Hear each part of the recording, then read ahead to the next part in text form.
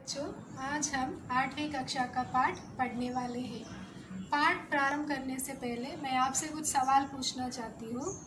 जैसे कि अगर आपके जीवन में कोई दुख है या फिर आप अपने जीवन में कुछ पाना चाहते हैं तो आप क्या करते हैं? बिल्कुल सही, हम क्या करते हैं? भगवान से निवेदन करते हैं या फिर भगवान से प्रार्थना करते हैं। तो आज का हमारा पाठ भी इसी विषय में है और हमारा पाठ का विषय है प्रार्थना।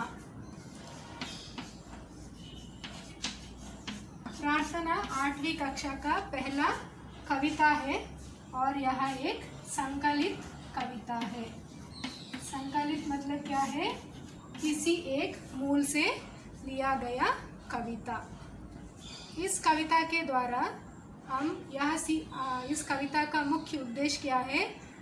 हम किसी का अपमान ना करते हुए, सबसे मिलजुल कर कोई भेदभाव ना करते हुए, सबसे मिलजुल कर रहना चाहिए और किसी का अपमान नहीं करना चाहिए और हमारे देश के प्रति अभिमान रखना चाहिए।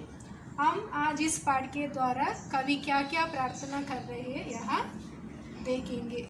इस कविता में कवि यह बताना चाहते हैं कि सच बोले, सच बात विचारे, भले काम पर जीवन वारे।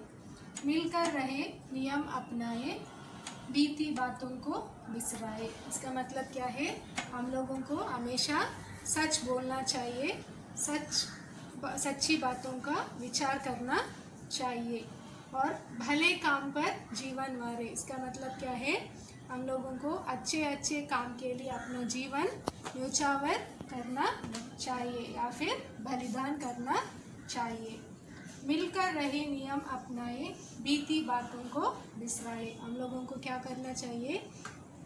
सब भेदभाव को भूलकर मिलजुल कर रहना चाहिए। ऐसा नियम अपने जीवन में बनाना चाहिए और हमें बीती बातों को बिसराए।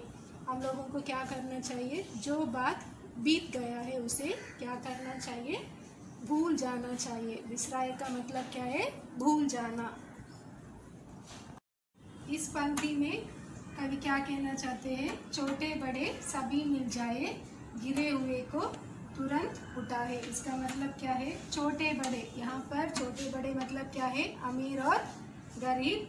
हम सबको छोटा या बड़ा, यहाँ भेदभाव नहीं करना चाहिए। हम सबको मिलजुल कर रहना चाहिए।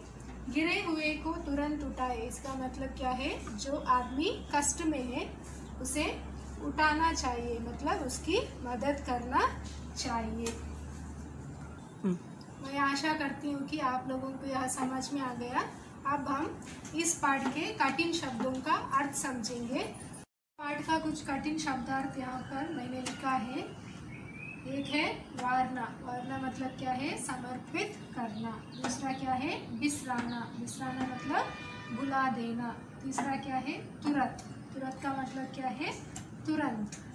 अब ये इस पाठ का कठिन शब्दार्थ है। आज मैंने जो भी पंक्ति आपको सिखाया है, उसका कठिन शब्दार्थ यहाँ पर मैंने लिख लिया है।